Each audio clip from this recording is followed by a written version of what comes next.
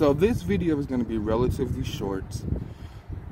Read between the lines. So I'll just give you a little bit of background.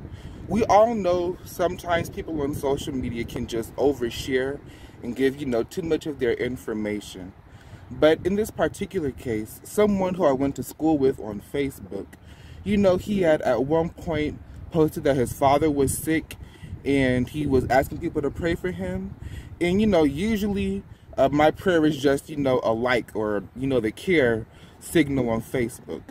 But a couple of days later, he posted a, a GoFundMe and it was just not what he usually posted. And he posted I Need You Now by Smokey Norful. And read between the lines. Sometimes people are really asking for prayer and they're not going to say it a whole bunch of times, but people are really going through. So if you can, especially for people who you know really are asking for it, try to just pray for people because you never know what people could be going through. And you know the situation could be flipped and you could be the one asking for help and not knowing how to say it and you want people to pray for you as well. So try to read between the lines.